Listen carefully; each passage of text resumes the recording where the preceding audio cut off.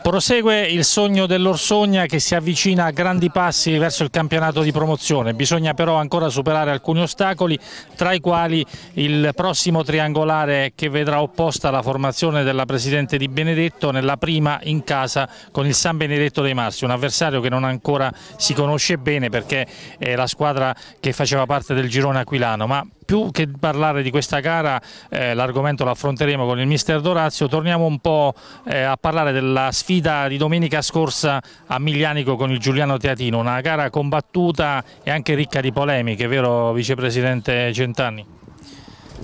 Innanzitutto buonasera a tutti, ti ringrazio di nuovo Antonio che anche questa sera sei qui con noi per, eh, per starci vicino perché secondo me eh, in queste occasioni eh, anche questo conta, eh, il tutto fa gruppo. E ripeto ancora una volta che il gruppo ha vinto perché domenica abbiamo dimostrato sul campo e lo ripeto ancora una volta sul campo abbiamo dimostrato la vittoria perché la vittoria che è arrivata all'87esimo perché sì, da quello che ricordo all'87esimo gran gol di Sferrella. Il Giuliano Teatino è stata una squadra sempre ostica nei nostri confronti, lo sapevamo, è una finale, ci può stare tutto, però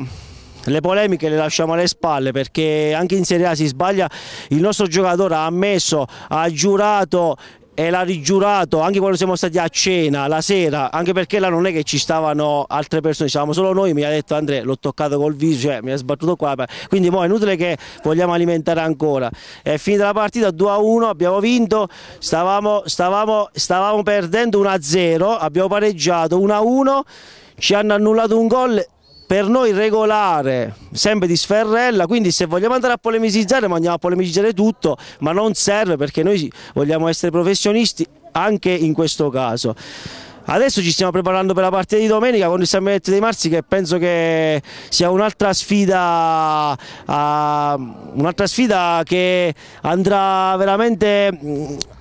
a dimostrare che siano quelle partite di altre categorie, la prima categoria secondo me non c'è stata né domenica scorsa e non ci sarà domenica eh, 29 maggio perché il 22 maggio abbiamo dimostrato a entrambe le squadre che esprimiamo un gioco diverso dalla prima categoria. E il pubblico eh, stesso ha detto questo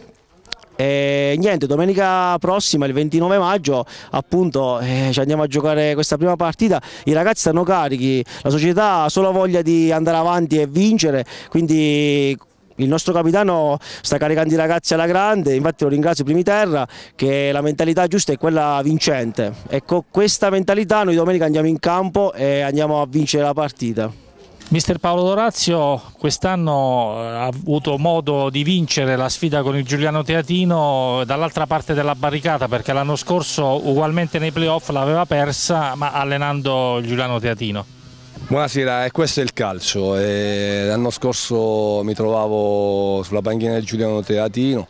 e purtroppo tutti sanno come è andata a finire, quest'anno invece è andata meglio. E mi dispiace aver, eh, aver trovato Giuliano Teatino diciamo, lungo la, nostra, la, nostra, strada, ma il calcio è questo. Però credo che domenica sia stata una partita giocata ambedue da, da tutte le squadre in modo corretto c'è stato un, un, un, buon calcio, per cui parte qualche polemica che ci può stare, ma il calcio è questo, però credo che comunque le due squadre sono affrontate a viso aperto e noi siamo stati bravi, a... abbiamo tenuto bene il campo, specialmente nel secondo tempo abbiamo espresso magari un gioco un po' migliore in, in confronto alla, alla, alla privazione di gara e credo che poi sia stata meritata insomma, la, la vittoria dell'Orsogna. Adesso si deve pensare però alla prossima sfida ancora più importante, la prima del triangolare con il San Benedetto di Marsi, è un avversario che obiettivamente non conoscete così come loro non conoscono voi. Beh sì, effettivamente non è che conosciamo tanto della squadra che dobbiamo affrontare, però credo che in questo momento sia la mentalità, eh, eh, la tranquillità, la serenità, la voglia di far bene che possa fare la differenza. Abbiamo la possibilità di giocarla questa prima gara in casa e sia, eh, credo che sia determinante eh, la vittoria per il proseguo poi eh, del, del, del mini torneo. Quindi ci auguriamo auguriamo che mm, possiamo disputare una buona gara e poterla, poterla vincere. Insomma. Purtroppo nell'organico mancherà uno dei vostri punti di forza che ha trovato un lavoro in Sardegna, stenta e quindi non sarà della partita. Beh sì, effettivamente abbiamo mm, saputo da qualche giorno che Stenda purtroppo ci lascia, eh, ma chiaramente eh, il lavoro è la prima cosa, specialmente in questi momenti.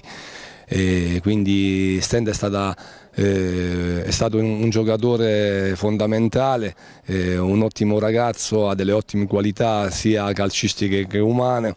Eh, ci dispiace ma speriamo poi di ritrovarlo eh, nella partita successiva. Insomma.